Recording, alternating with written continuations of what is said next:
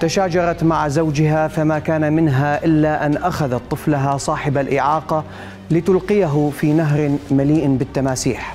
هذه المرأة التي تدعى سافتيري وتبلغ من العمر 26 عاما أقدمت على إلقاء طفلها ذي الست سنوات والذي يعاني من الإعاقة في نهر معروف بكثرة التماسيح بمنطقة أوتارا كندا في الهند. وذلك بعد شجار مع زوجها حول ابنهما بحسب ما نقل موقع The Time of India الشرطة وصلت إلى مكان الحادث الذي وقع مساء السبت الماضي بعد بلاغ من سكان المنطقة وبمساعدة السكان المحليين والغواصين بدأت عملية البحث. وبحلول صباح الأحد تمكنوا من العثور على جثة الطفل حيث ظهرت عليها علامات عض في جميع أنحاء الجسم. إضافة إلى يد مفقودة ما يشير بقوة إلى أن الطفل وقع ضحية لهجوم تمساح فيما تم القبض على الزوجين بانتظار نتائج تشريح الجثة وباقي التحقيقات.